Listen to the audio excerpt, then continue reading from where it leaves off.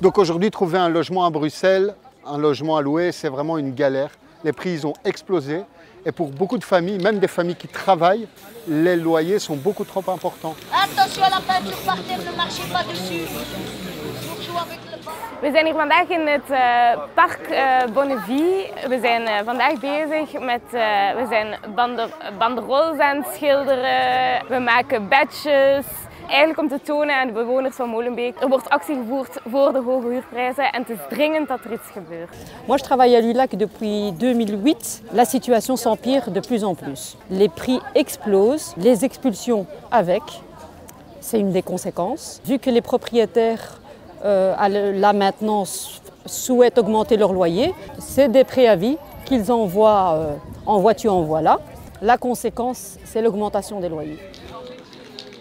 Il y a une volonté euh, politique de ne pas interférer sur tout ce qui est euh, la, propriété. Euh, on ne bloque pas les loyers parce que ça, on ne peut pas y toucher. C'est le droit des bailleurs de, euh, de- d'augmenter leur loyer. Or, les, habitants ne peuvent plus payer, c'est plus possible. Quelle est la volonté derrière ça? Est-ce qu'on veut mettre tous les petits revenus euh, hors de Bruxelles? Est-ce que c'est ça euh, qui est visé?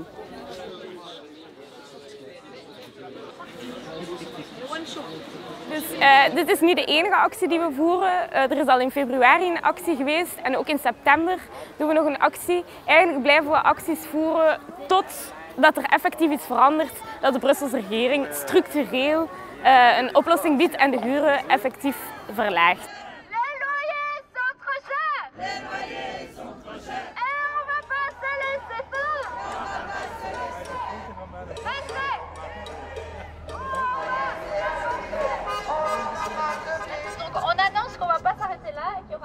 Wat de Brusselse regering nu voorstelt is de procedure verlengen voor de uithuiszettingen. Maar uiteindelijk verandert dat niet veel. Dat is een pleister op een open wonde, want de huur blijft te duur. Mensen kunnen hun huur niet betalen. Dus uithuiszettingen moeten gewoon verdwijnen in totaal. Daarnaast ook eigendommen die leeg staan moeten kunnen worden overgenomen en herbestemd.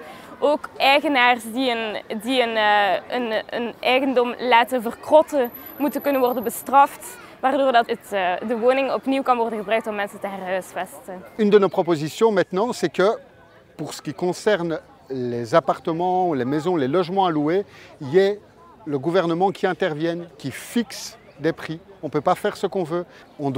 Encadrer les loyers et on doit les faire baisser parce que là, c'est vraiment plus vivable. Il y a des situations de crise, il y a des situations où des familles se retrouvent entassées dans des logements insalubres ou se retrouvent euh, dans des hôtels sociaux. Un des moyens de débloquer la situation, c'est pousser nos décideurs politiques à appliquer cette mesure comme elle l'est déjà dans d'autres villes européennes. C'est quelque chose de réalisable. Et pour ça, avec euh, le réseau des associations qui défendent le droit au logement, on organise des rendez-vous tous les 2-3 mois pour sensibiliser la population à l'importance de faire baisser et d'encadrer les loyers.